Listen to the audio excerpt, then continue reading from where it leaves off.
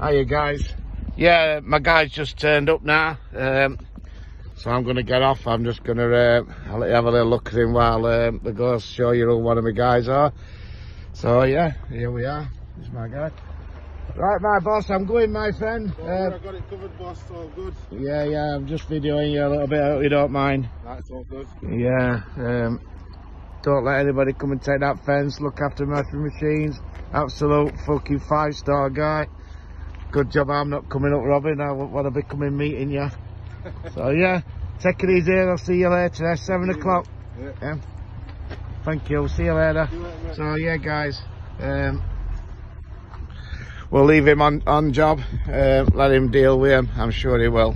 Um, yeah, he's going to watch a few films, chill out a bit, a little do a bit of downtime, and um, easy job.